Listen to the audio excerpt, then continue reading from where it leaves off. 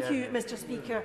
If each local authority in the UK submits only one bid for the maximum £20 million of levelling up funding, this will amount to £7.4 billion, far exceeding the current fund.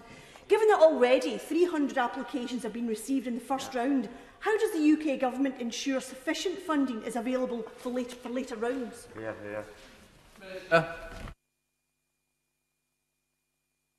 First of all, is that you have to look at the volume of funds that we're delivering over the course of the Parliament that are designed to address uh, different challenges that communities are facing.